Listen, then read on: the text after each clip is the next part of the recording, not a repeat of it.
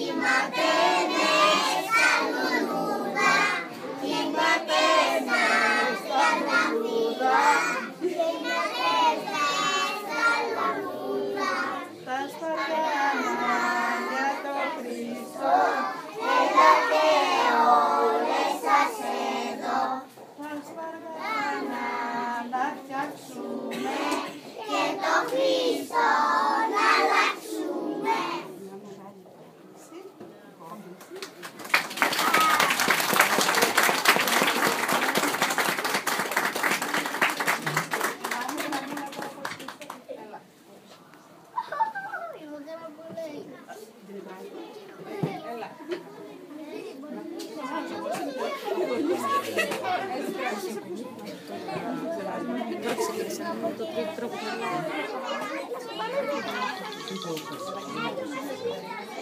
Σε πήγαινε δίπλα του. Όχι, έτσι θα μου